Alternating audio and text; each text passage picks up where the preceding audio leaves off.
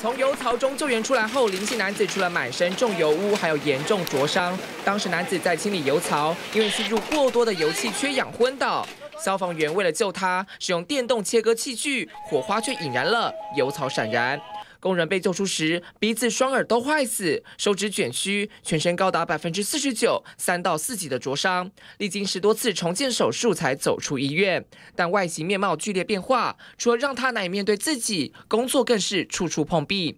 他因此提出七百五十四万的国家赔偿，但一审却败诉。上诉二审之后，高院以新北市消防局救援过程有疏失，逆转判决，判赔四百一十二万，全案还可上诉。我们救灾过程能够考虑到的一个安全的一个防护，大概我们大概都已经做一些处置了。强调救灾评估过现场环境，将会再上诉。而当天出勤遭控业务过失重伤害，获得不起诉的李姓消防员，透过脸书说不后悔做的决定，遇到了就会去面对，不需要任何人怜悯，他没有推卸过任何责任。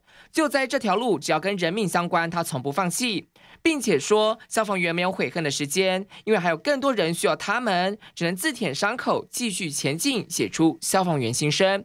而受伤的林姓男子只盼拿到国赔，支持他照顾家中两老以及一对儿女过完下半辈子。记者吕龙生受奖，新北市报道。